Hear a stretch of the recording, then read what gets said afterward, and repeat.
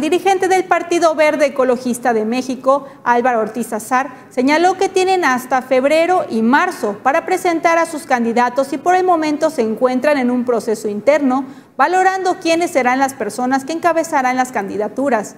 Por lo tanto, resaltó que no ha tenido ningún acercamiento con Vania Kelleher Hernández mientras con la delegada estatal Sandra Sánchez se encuentran trabajando en los municipios. Sin embargo, las puertas del partido están abiertas y dispuestas a platicar.